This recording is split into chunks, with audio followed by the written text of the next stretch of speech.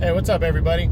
So, coming to you this morning, we're going to do the boxing recap from over this past weekend, uh, August 22nd. Um, if it's a big enough, uh, you know, week of cards, of, of boxing cards, I'm going to do a recap of them. I might not do that on every one, but if it's uh, big time stuff happens and everything um, over the course of that week of boxing, I'll probably do a recap or big enough fighters. Um, you know, if not, then the guys that actually won, I'll be doing those on uh, like their what's next and shit like that if they're in the top ten. But, anyways, man, what a what a Saturday of boxing. I mean, just all around good boxing took place. Um, I'm gonna go from uh, from bottom to top in terms of the biggest cards and, and what they were and everything. And um, you know, I'll try to remember all the cards. Let's start with the Fox PBC card that happened on Saturday evening, though. Um, the co-feature saw Sebastian Fundora, um, undefeated guy on the rise at uh, at super welterweight. This dude is six six. I was tripping off of that. Um, six six guy fighting at 154. You know, I mean, um, I liken that to uh, Paul Williams, but I think I don't even think Paul Williams was that big. Um, but this dude was real big. He fought Nathaniel Gallimore, a tough guy who, uh, you know, kind of a journeyman, been in there. He's lost to um, Julian J. Rock Williams. Um, I believe uh, Gallimore just lost to Erickson Lubin last year, but he also had a win over Jeison Rosario in his career. He stopped Jeison Rosario, the guy who just beat J. Rock, um, you know, a few years ago. So Gallimore established. He's not the best guy, but he's like that stepping stone fighter. And man, Fundora just whipped his ass. I mean, he fucking whipped his ass. Um, I, I, think it was the sixth, seventh round in that area, possibly the eighth round that he finally stopped him. Um, but man, just a strong performance out of an undefeated guy on the rise. Really good win right there. Possibly could get him in the top 10. We'll see. I got to reevaluate my top 10, but impressive performance on the Fox undercard. Now, the main event, we're going to look at that one. You saw Shawn Porter and Sebastian Formella, um, undefeated guy from Germany. And Porter looked fucking great. Porter just looked like he, you know, it was one of those fights where you could an upset could happen because you're overlooking a guy. Because pretty much Porter, a win, he's guaranteed uh, the winner of Errol Spence, Danny Garcia. Um, you know, and, and unless those guys decide to give up that belt, which why would they? You know, a rematch would they're both close fights. But anyway, Porter went in there, just a guy on a mission, and just broke down uh, Formella. Formella showed a lot of heart. The guy kept punching, landed some shots, but man, he just got overwhelmed by by the pressure of Porter. Porter is still very, very good, and um, I can't wait to see him again. He got a one-sided 12-round decision, pretty much damn near a shutout, unanimous decision, and I can't wait to see what Porter uh, does. He, he's in line now to face the winner of Errol Spence and Danny Garcia um, as the WBC interim or mandatory challenger. So, um, you know, it's going to be interesting to see what happens there. Um, we won't know until after November, but man, a good, strong performance to stay busy and stay active, and hopefully that's what happens next. But I'll, I'll get more into detail when I do my what's next on Shawn Porter, but just a very good uh, performance out of him. Now I want to jump to the last card of the of the day. You know, I'm going like I said, I'm going in terms of the lowest to the biggest cards of the day, and we had on ESPN Plus, um, which again 4.99 guys, a lot more contact, uh, con a lot more content than just boxing on there. There's a lot of different things you can watch. Um, they have a lot of their 30 for 30 documentaries. All the old ones are stored there. A lot of good things on there. Check it out if you get a chance. It would definitely be worth the five bucks a month. But um, you had uh, the undercard saw Rob Brandt, um, former middleweight champ, taking on uh, undefeated but little known Vitaly Kopylenko. Um, I don't know if Kopylenko was undefeated. He might not have been. He might have lost one fight um, to the guy from Canada, Stephen Butler. I think he did. But anyway, it was a close fight. Um, Rob Brandt just broke him down, beat him up. He looked good, stopped him. They fought just over 160, um, but he's still focused on middleweight. He wants to prove that the loss to Ryota Murata in their rematch last July was uh, wasn't really him. And um, I guess the reason why their mandatory third fight hasn't happened because I was wondering is Murata from Japan they they don't have international travel going on because of COVID uh, nineteen. So, um, you know that's why he said he really is focused on that. He wakes up. I love what he said after. He said he wakes up. Um, he dreams about fighting Murata again. He wakes up thinking about Murata. He goes to bed thinking about Murata. I love what he said. A lot of emotion there. He wants to get back in the ring with Murata, have that third fight. You know, he whipped Murata's ass by a one-sided decision the first time they fought in October of 2018 to take the title, and that was right before Murata was was supposed to be fighting Triple G next.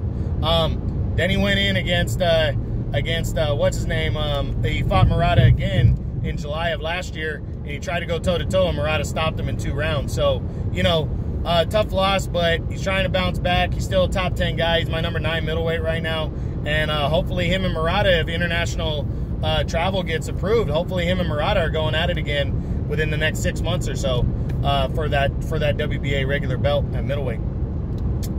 Um, now we go to the main event on ESPN Plus was a great light heavyweight matchup between Eleider Alvarez, former WBO champion, and Joe Smith Jr., former world title challenger. You know, these two guys, established veterans um, at light heavyweight. They were fighting in a WBO final eliminator. Next fight, they're fighting for the vacant title, so a lot on the line. Yeah, Alvarez came in the favorite. I picked him to win this fight. I picked him to knock Smith out or win a decision because I felt like he was just so much more complete. But he's also older, and Joe Smith, um, you know, uh, Alvarez knocked out Kovalev a couple years ago. Kovalev got him by a decision in a rematch, but his knockout was brutal. He's also knocked out and he's beaten solid ass fighters other than that. I also think he has a knockout win over Lucian Bute. So, you know, this guy very established, very strong fighter, and he went in um, as the favorite. Then he had Joe Smith Jr. You know, he had beaten Bernard Hopkins, uh, ended Bernard Hopkins' career when he was 51. He, uh, you know, he came in, um, he lost to Sullivan Barrera, but he went 10 rounds with a broken jaw a couple years ago. Last year, he got his ass whipped by a one sided decision against Dimitri Bivol for the title. Came back this year, though, in January and upset Jesse Hart by just bullying Jesse Hart around the ring. Jesse Hart was the favorite. And you know what? He fucking did it again he bullied Eleider Alvarez around that ring. Alvarez landed some good shots, backed Joe Smith up a couple times, but Joe Smith, the brawler from New York, just kept coming forward, kept grinding, kept putting his pressure on and landing those big hard shots. And finally, a, a one-two combination in the ninth round finished off Alvarez, who was tired. Joe Smith at that point had pretty much won almost every round. Two of the cards had it, um, I believe it was seven rounds to one and one card had it eight rounds to nothing. So he was pitching a shutout, damn near shutout, and he was he was just looked good. Big time win for Joe Smith. He's in line for a world title now. Another world title shot is coming next for the vacant WBO belt. Congratulations to him. That was a huge win for Joe Smith Jr. Alvarez, tough loss. 36 years old. Not sure what's going to happen next for him, but tough loss, but big time win for Joe Smith and the way to turn his career around. And tell you the truth, this just shows you how good Dimitri Bivol is, the WBA champion, because last year he fought Joe Smith and he whipped Joe Smith's ass. He whipped his ass by one sided decision. Joe Smith hurt Bivol momentarily in the 10th, but not bad. And Bivol came back and almost knocked Joe Smith out in the 12th. So this shows you how good Dimitri Bivol, the WBA champion, is. Beat the shit out of John Pascal by a one sided decision You beat the shit out of Sullivan Barrera, stopped him in the 12th round after Barrera had beaten Joe Smith. And then he whipped Joe Smith's ass too. Bivol is going to skyrocket in the rankings, as is Smith, but it just shows you how good the light heavyweights are right now at 175. All right, now the last card of the day. We're only going to talk about the main event on DAZN. It was earlier in the day on, from the United Kingdom. It was Dillian Whyte against Alexander Povetkin for the WBC Interim Heavyweight Championship. Fucking great action fight right here. Two top 10 heavyweights. You had Dillian Whyte, who's been maybe the hottest heavyweight the last two years overall in terms of the level of competition he's faced. He's been in line to fight for a world title, but he still hasn't received his first world title shot. Only loss coming in was to Anthony Joshua by a knockout in 2016 after he had hurt Joshua earlier that fight. You know, he'd beaten some good fighters coming in. Lucas Browne was an undefeated, big, hard hitting guy knocked him out in six rounds in 2018. Came back and beat former WBO champion Joseph Parker by a tight, tight decision. Almost got knocked out in that fight, but he held on, got a strong win. Rematch Derek Chisora, very solid, established heavyweight, in a rematch. They fought to a split decision a, a few years before, and he was behind on the cards, and he brutally knocked out um, Chisora with the knockout of the year in 2018 to cap off that year. He was tied for a heavyweight of the year in 2018. And came into 2019, won the interim belt, beat Oscar Rivas, got knocked down late in that fight though. So, but he um, he won a solid one-sided, you know, solid unanimous decision, and then beat uh, Mariusz Wach when he was very overweight last year um, by a decision. But he came in overweight, took the fight on short notice, fought on the Joshua Ruiz undercard. But top 10 guy I had him at number seven at, at heavyweight. Some guys had him in the top five. You know, a win would have got him into a, a, mandatory title shot against the winner of Deontay Wilder and Tyson Fury. Um, you know, for the WBC belt because he was the interim champ. So big things were coming up for Dillian Whyte. And if one of those guys vacated the belt, then he would become the full champion. He would just be upgraded. This guy had a lot of things going for him. Alexander Povetkin, the former world champion, came in. Only losses to uh, Vladimir Klitschko and Anthony Joshua in his career. Beat some very good, solid heavyweights. Never had that signature win against the top guy on American television, and he got it in this one. It was a good fight coming in. He's 41 years old. It was a good fight. Started off good, but Dillian Whyte, after the first round, started controlling the action with his jab. He was landing good shots. He was outlanding. Almost, I think he was landing at 37, 38%, pretty solid. And then um, in the fourth round, put Povetkin down twice. Had him hurt.